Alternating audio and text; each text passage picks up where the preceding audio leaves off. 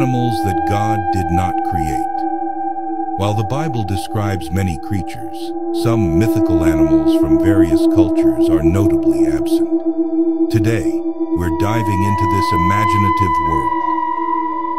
First up, dragons. These mighty creatures are staples in folklore but aren't part of the biblical creation story.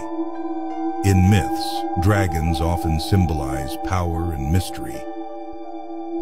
Next, unicorns.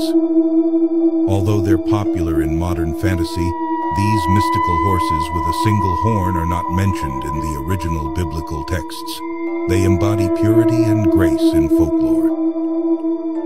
Meet the griffin, half eagle, half lion.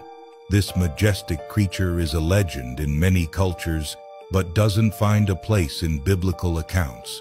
Griffins represent strength and vigilance. Let's not forget the phoenix, a bird of fire that's said to rise from its ashes, symbolizing renewal and eternal life. It's a powerful mythological symbol, but not part of the biblical narrative. Lastly, mermaids, with their human upper bodies and fishtails, captivate many.